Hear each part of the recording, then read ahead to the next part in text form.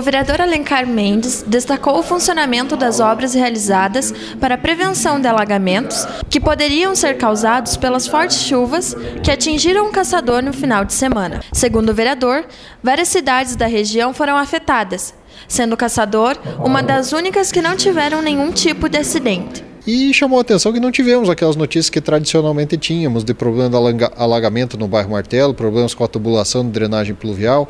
É... Sinal de que as ações realmente têm funcionado, têm, têm dado surtido efeito.